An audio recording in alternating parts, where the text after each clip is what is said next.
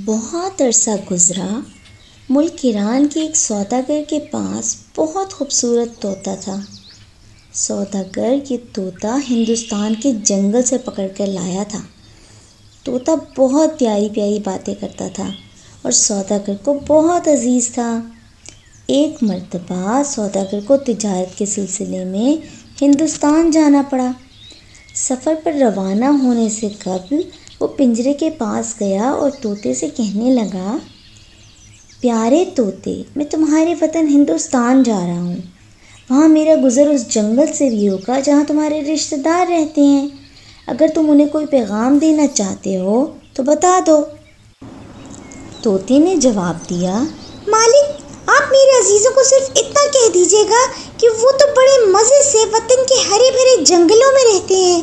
आज़ाद फिजाओं में सांस ले रहे हैं, मगर मैं बदनसीब, अकेला, वतन से दूर, इस पिंजरे में बंद उनसे मिलने के लिए तड़प रहा हूँ। जब सौदागर हिंदुस्तान पहुँचा तो उसका गुज़र अपने काफ़िले के हमरा उस जंगल से भी हुआ, जहाँ तोते के रिश्तेदार परिंदे रहते थे। वहाँ बहुत से खूबसूरत तोते दरख्तों पर बैठे थे। उन्हें देखकर सौदागर को अपने तोते का पैगाम याद आ गया। और उसने उन्हें बुलंद आवाज़ में वो पैगाम सुना दिया। जैसे ही सौदागर ने अपनी बात ख़त्म की, एक तोते की हालत ख़राब हो गई। वो पूरी तरह थरथराने लगा और आनन फानन दरख्त की शाख से ज़मीन पर गिर कर दम तोड़ गया। ये देखकर सौदागर को बहुत अफसोस हुआ। उसने सोचा कि शायद ये मेरे तोते का करीबी रिश्तेदार था जो उसका दर्दनाक पैगाम सुनते ही चल बसा। जब सौदागर वतन वापस पहुँचा तो उसने अपने तोते को उसके रिश्तेदार की मौत का हाल बयान किया।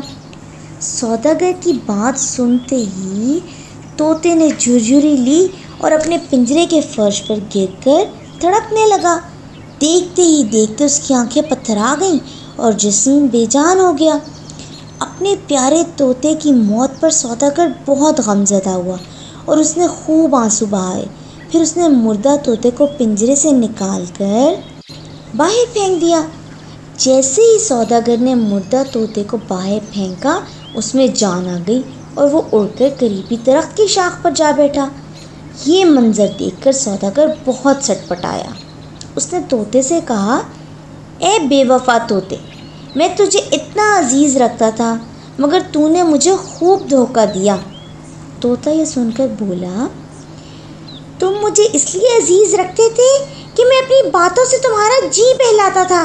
मगर एक बेवकूफ़ इंसान, तुमने खुद मुझे कैद से निकलने की वो तरकीब बताई जो मेरे रिश्तेदार ने कहला भेजी थी।